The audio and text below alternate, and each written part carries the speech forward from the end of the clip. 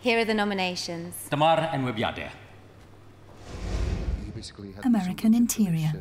He was a John Evans man. By this point, he was out of his mind on malaria. He was definitely really depressed by his failure. And he sends a letter saying, Thus, having explored and charted the Missouri for 1,800 miles, I am able to inform you that there is no such people as the Welsh Native Americans. A Welshman. Kind of like a Tom Jones kind of man. Nice to have played Lear Playing Burton. I find English theatre so boring these days. Broadway is infinitely more exciting. You can open a show at 8 p.m. and by 1 o'clock in the morning you know whether or not to take the next flight out because it's dead, cut, finished.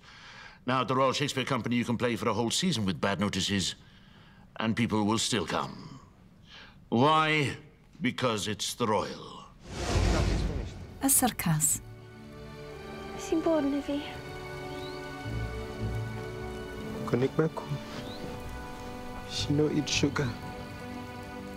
She bad. Paid yn mynd, Africa. Please paid yn mynd. Paid yn gadael i. Please paid yn gadael i. But I've already.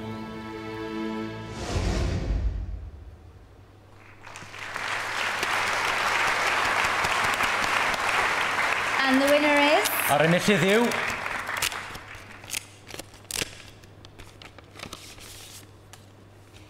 Playing Burton.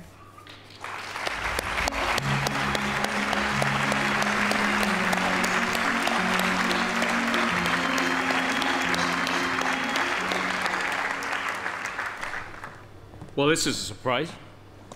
Gosh. Um, an extraordinary journey with this uh, film. Um, a wonderful stage play written by Mark Jenkins with an, an incredible track record.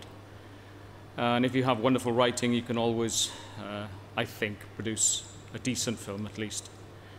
Um, but I have to say a huge thank you to everybody that was involved. Um, from David Hughes, who put up the money for us to make it, to Sky Arts, who bought it off us, to Gaynor Messer Price, who's the producer, obviously to Mark Jenkins, who's over there, for his inc- incredible script, and, um, and for a wonderful and absolutely amazing performance by Josh Richards.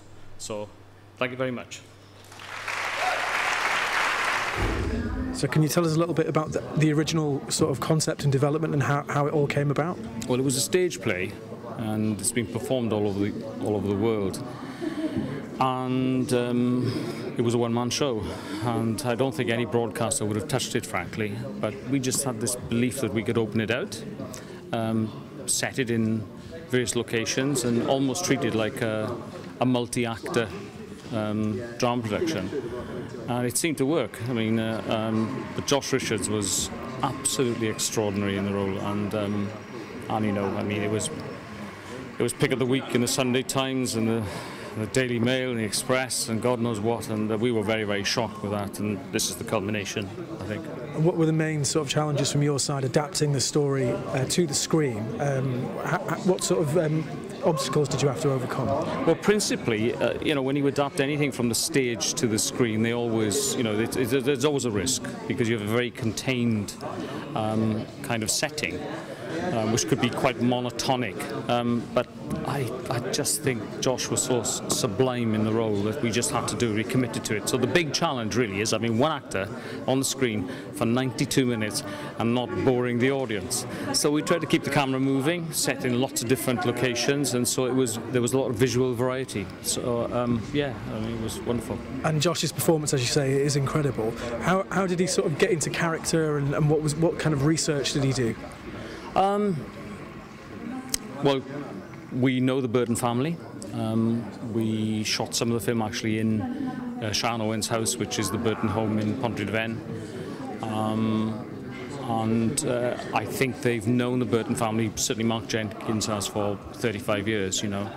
Um, so that was one way of doing it, but uh, I, I think that the, the, the, the main thing really was making it as filmic as we possibly could. I mean, Talking Heads, uh, the Alan Bennett series, the half-hour pieces where there's only two or three camera angles, well, you can't sustain that for 90, 92 minutes. So the, the, the real challenge was making sure that we, you know, kept people interested, as it were. And without a, a fabulous central performance, I think people would have been bored. So, I mean, I'm, here I am with this, really, it's for them.